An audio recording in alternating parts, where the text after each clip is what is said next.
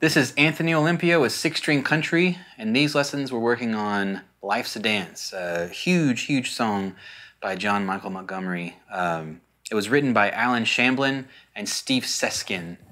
On the rhythm lesson, you're gonna need a capo on the third fret, and we're gonna be we're gonna be working with a lot of chords here. Not too much uh, strumming wise, but it's kind of one of those sneaky dare I say, complicated songs. Um, lead lesson wise, we're actually going to be going in the opposite direction of a capo. We're going to be tuning the guitar down a half step um, and covering. Uh, I transcribed some of the fiddle parts for you, uh, so that'll be fun. And there's kind of like a an outro. A, a more lengthy part for the outro where the we, we cover the fiddle part and some of the guitar licks that do happen there. But yeah, it's a really really great 90s country song to dig into. So let's get started.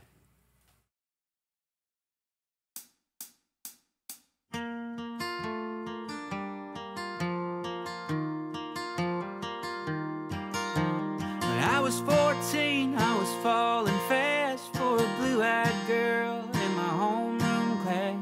Trying to find the courage to ask her out was like trying to get oil from a water spout. She would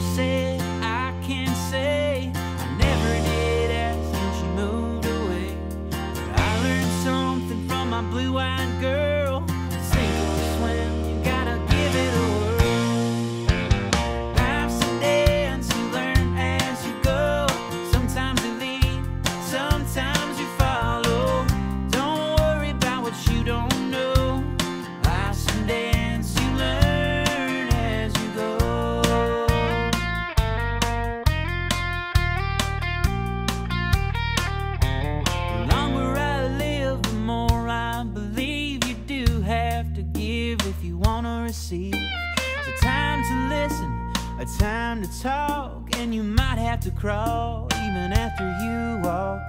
Had sure things blow up in my face. This is the rhythm lesson for Life's a Dance. First things first, we got to have a capo on the third fret. Um, and we're to be kind of playing, well, there are two keys. There's a key change in, in- later on in the song. Uh, but we're to start off with like key of D chords. Um, and then eventually we'll work our way to the key of A. So we got quite a bit of chords to cover. Maybe what we'll do is we'll cover the key of G chords first, get the strumming patterns, and then when the key change happens, we'll cover those chords there. I think that'll be the best use of our time. That way we don't get bogged down into like, and here's this chord, and this chord, and this chord, and so on. Um, strumming pattern wise, we have four different ones. Uh, I wanted to try, I wanted to stay as true to the song as I could, but like a lot of 90s country songs, they're not really they're not you can't put them in a box. People are just playing and jamming, especially I feel like on acoustic guitars, there's a lot of room for them just to kind of play and do their thing, which I think is beautiful. It's not copy paste. It's musicians, real human beings in a room playing whatever eh, without being edited to death to be perfect, right? And I love that about the 90s country era. Um, anyways, I'm pretty sure that's as close as I could guess as far as the strum and to tab that. Let's play the intro tab stuff slowly together. Okay?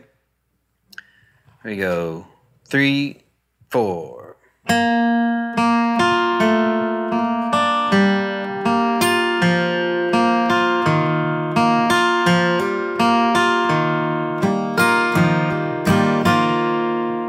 Okay, that's the intro there. Right after that, we get into the strumming. Um, and there is one more little tab piece that we'll, uh, we'll grab for the end of the pre-chorus. Let's save that until we get there, right? Let's not get ahead of ourselves too much. So we're switching back to strumming and the chords, right? We're in verse one. We're going to use strumming pattern two. It sounds like this.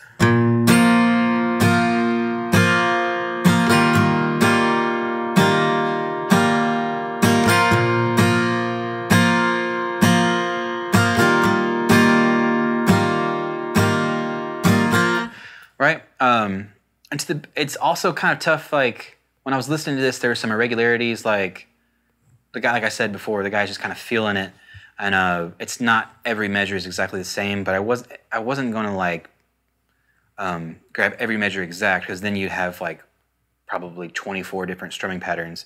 Right? All right, the intro tabs. One, two, three, four.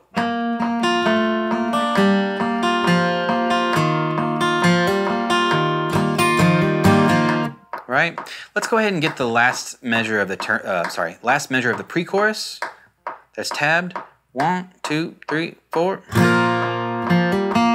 Right, so we got that down. Now let's back up. We'll do the strumming parts for the intro. One, two, three, four.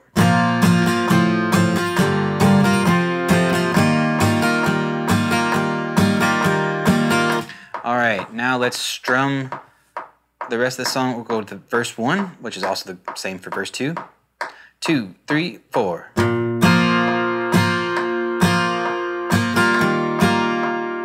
Off, uh, we're not really going to play until the pre-chorus, so we're going to rest. I love that the song starts off simple. Um, I love when songs do that and then work their way in rather than you know every song always just boom boom boom right from the beginning right so we come in at the pre-chorus second fret and that's going to be a whole note that also ties over into the next measure.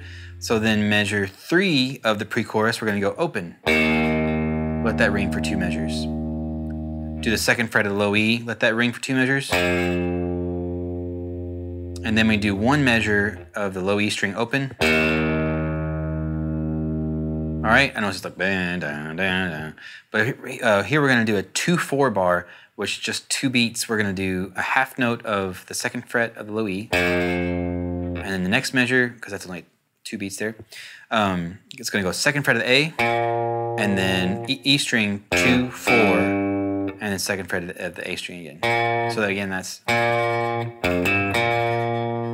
okay. Um, let's play through that. I know it's it's a lot of waiting, but let's just play through it to make sure we're on the same page. Okay, here we go. Three, four, one, two, three, four, one, two, three. We start here on the fifth fret of the G. Slide, hit, uh, pick that and slide up to the sixth, and hit the sixth fret of the G. Seventh fret of the B, slide up to the ninth, and hit that. Repeat that measure. Pretty much just like what we were doing in the. Uh, if you've looked at the. Uh, uh, solo earlier in the song when it changes keys. So here, the next measure, we're going to play this. I'm going to be the sixth fret of the B, slide up to the seventh, and then six, seven. Wait a second, and then we'll go six, seven, six, seven, nine. Right? Uh, let's go ahead and play that phrase slowly, um, just so we don't get lost in all the stuff that comes next. Here we go. Three, four, one.